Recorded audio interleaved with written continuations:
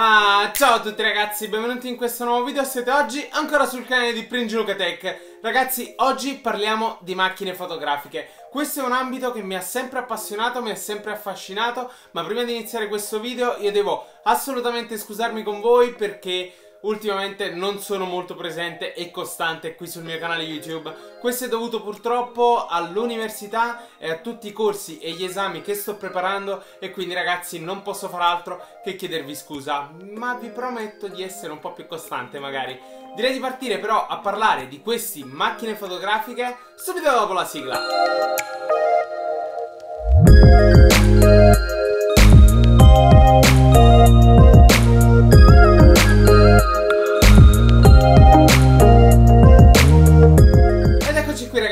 Non so se l'avete notato ma ho cambiato il colore della intro. Spero che vi piaccia, il nero lo vedo un po' più abbinato al genere di video che porto sul mio canale E soprattutto voi ben sapete se mi seguite da un po' che io il nero lo amo assolutamente. Ma direi di partire con la storia della mia fotografia. Beh, io sono sempre stato un appassionato di fotografia sin da quando ero bambino Tant'è che mio nonno mi ha sempre trasferito questa passione e sono partito a scattare con le classiche macchine analogiche. Voi direte, ma quanti anni hai? Non sono molto grande, ma ho cominciato a scattare con lei. Questa è una Zenith 3Z qualcosa e ragazzi è davvero fantastica. Funziona ancora perfettamente, magari faccio qualche foto.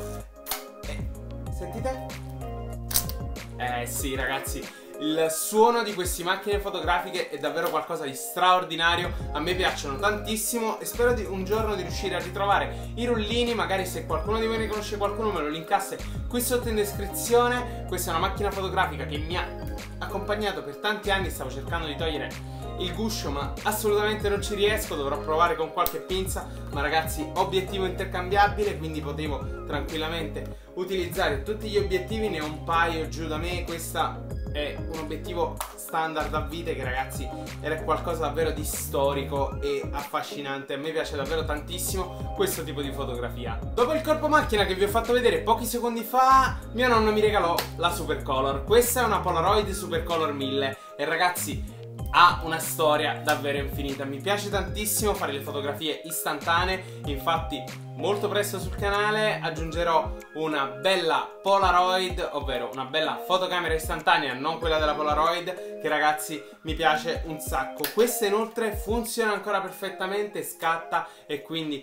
assolutamente se mai riuscissi a ritrovare le cartucce o qualche azienda decidesse di creare cartucce per questa macchina fotografica oppure se voi ne conoscete qualcuna linkatemela qui sotto perché assolutamente mi piacerebbe tornare a scattare con questo genere di macchine fotografiche. E insomma ragazzi questa accoppiata assolutamente è favolosa Andando avanti la tecnologia è cresciuta, è andata avanti e beh ragazzi siamo passati alle fotocamere digitali. Beh, per me ci sono dei punti a favore della fotografia digitale e dei punti a sfavore, ovvero che la fotografia analogica, beh, uno la desiderava prima di guardare una delle fotografie ed era una cosa davvero fantastica. Per quanto riguarda la digitale invece siamo lì a scattare per ore e ore e magari non ci andremo mai a riguardare tutte le singole fotografie, ma ne sceglieremo giusta qualcuna. Invece lì era proprio una storia, mettersi lì, dedicarsi del tempo a preparare il set e a scattare la fotografia che era tutta un'altra storia. Beh, quella era magia, adesso si tratta di semplice clic clic quindi ragazzi da un lato ci sono dei punti a favore dei punti a sfavore perché per la digitale ce l'abbiamo sempre lì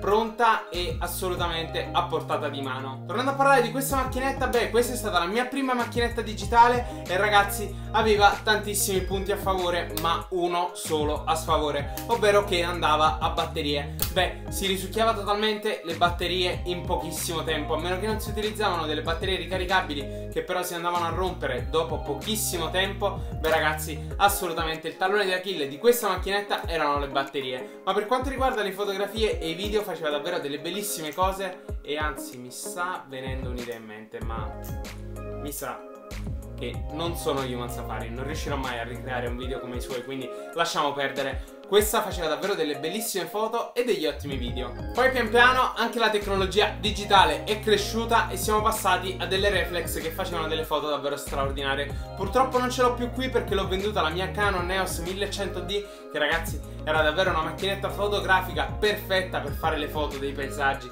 e qualsiasi altra cosa del genere, ma purtroppo l'ho dovuta vendere per passare a qualcosa di più interessante. Prima di tutto il mio drone lì dietro, che assolutamente si può definire un corpo macchina. E poi, ragazzi, beh, Vedete lo scatolo lì dietro e spero che qualcuno di voi già l'abbia capito, ma stiamo parlando della nuovissima e bellissima Sony Alpha 5100. E ragazzi, è qualcosa di straordinario. Parliamone più nel dettaglio. Venduta la mia Canon 1100D, avevo assolutamente il bisogno di prendere una mirrorless, una macchinetta compatta da mettere sempre in tasca e da portarsi sempre in giro, ma che assolutamente non mi togliesse la possibilità di cambiare l'obiettivo. E quindi ho scelto questa mirrorless di casa Sony, una 5100 che ragazzi mi dà la possibilità di cambiare l'obiettivo e scegliere quello che io più desidero e soprattutto di flippare lo schermo. Quindi anche in questo caso che non mi sto guardando perché sto registrando con il mio iPhone X, beh, con questa potrei farlo tranquillamente. Quindi ragazzi davvero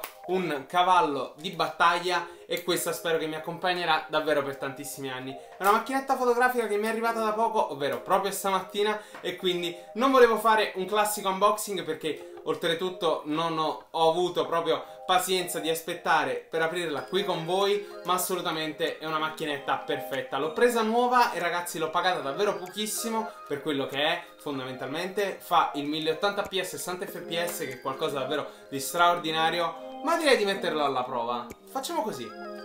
Stacco l'iPhone monto la Sony e ci vediamo tra poco.